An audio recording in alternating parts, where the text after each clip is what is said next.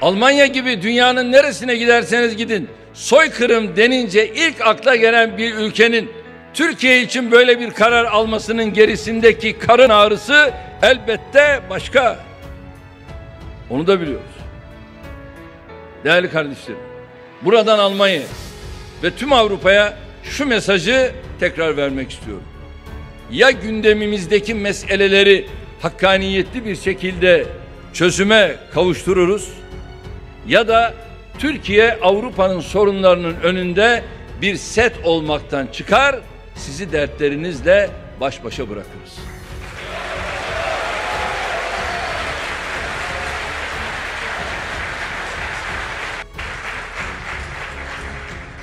Ermenilerin Karabağ'da gerçekleştirdikleri vahşete maruz kalanlardan hakikatleri dinlemek bugün de mümkündür.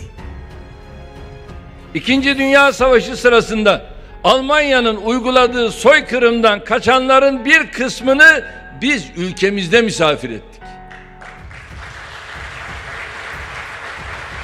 Ey Alman parlamentosu! Bunlardan haberiniz var mı?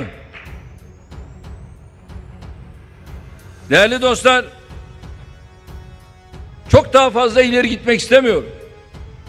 İşte Kırım Türklerinin başına gelenleri biliyorsunuz. Kafkas kavmi daha sonra Afganistan'da ve Çeçenistan'da yaşananların her biri birer trajedidir. Özellikle son 150 yıldır ülkemizin dört bir yanında yaşanan zulümlerden kaçanların milyonlarcası ülkemizde hayatlarını sürdürüyor. Tabii bu zihniyet milyonların ölümünü sadece bir istatistikten ibaret gördüğü için onlar kendilerine yaptıkları vahşeti meşrulaştıracak bir yol mutlaka bulurlar. Bir kez daha altını çizerek ifade ediyorum. Bizim geçmişimizle ilgili utanacağımız hiçbir meselemiz yoktur.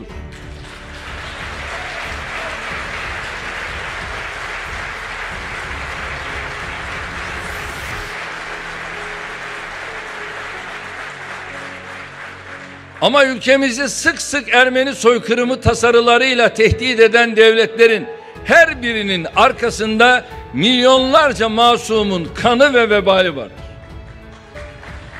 Değerli kardeşlerim, şu anda ekranları başında bizi izleyenler, bugün buradan ilk defa bu konuda konuşuyorum. Tüm dünyaya sesleniyorum. Beğenirler beğenmezler. Bizim Ermeni meselesindeki tavrımız en başından beri nettir. Biz soykırım ithamını asla kabul etmiyoruz.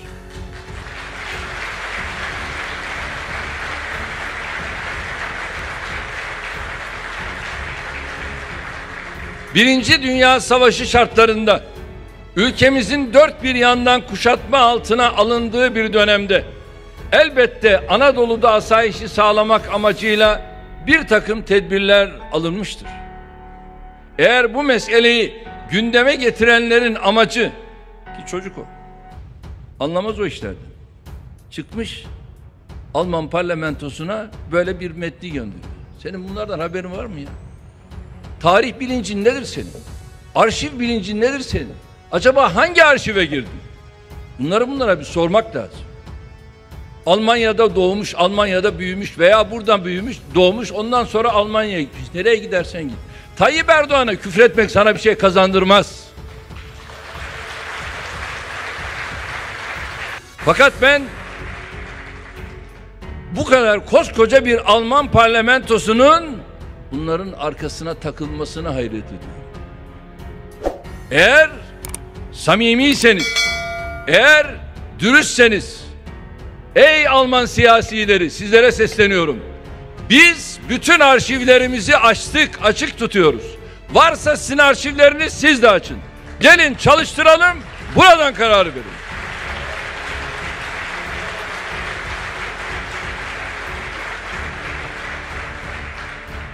Ama buna yüreğiniz yetmez.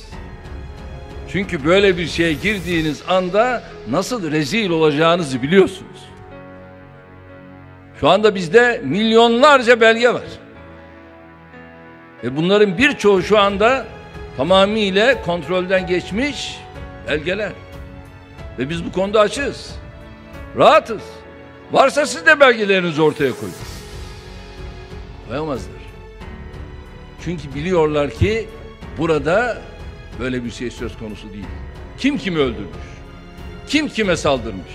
Kim kimi yerinden etmiş? Kimin arkasında kim varmış? Bunların hepsinin de cevabı işte oralarda ortaya çıkar.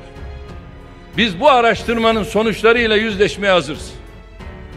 Asıl önemli olan bölgede faaliyet yürütmüş olan diğer ülkeler buna hazır mı? Mesela Ermenistan'da faaliyetine devam eden bir takım örgütler buna hazır mı?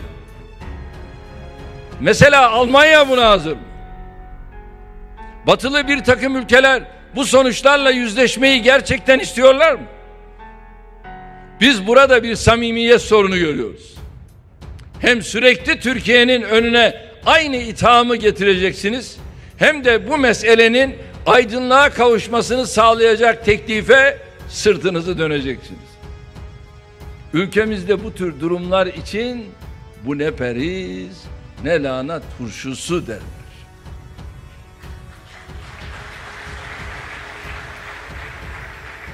Bir kez daha söylüyorum. Bir meselenin özellikle bu meselenin Ermenilerin hakkını, hukukunu korumak olmadığını, bunun sadece bir istismardan, bir araçtan ibaret olduğunu gayet iyi biliyoruz. Dünyada soykırım konusunda söz söyleyebilecek en son ülkenin bize böyle bir ithamda bulunması hukukçuların tabiriyle söylüyorum hayatın olağan akışına uygun değildir. Umarım Ermeniler de bu gerçeğin farkına varırlar ve kendilerini kullandırmaktan vazgeçerler. Şu anda ülkemde 100 bine yakın Ermeni var. Bunların yarıya yakını bizim vatandaşımızdır. Şu anda bizim ülkemizde yaşıyorlar. Burada çalışıyorlar. Ama bir de bizim vatandaşımız olmayan bir o kadar da şu anda Türkiye'de Ermeni var. Ya biz eğer bu noktada böyle bir hassasiyeti gözetmemiş olsak şu anda bizim vatandaşımız olmayan Ermenileri biz niye ülkemizde tutalım? Şu anda Avrupalıların yaptığı gibi biz de onları Ermenistan'a geri göndeririz. Yaparız bunu. Şu anda mültecileri Avrupa alıyor mu kapısından içeri? Neler yaptıklarını görüyoruz değil mi? Ama Türkiye şu anda 3 milyon mülteciye ev sahipliği yapıyor. Bizim aramızda bu fark var.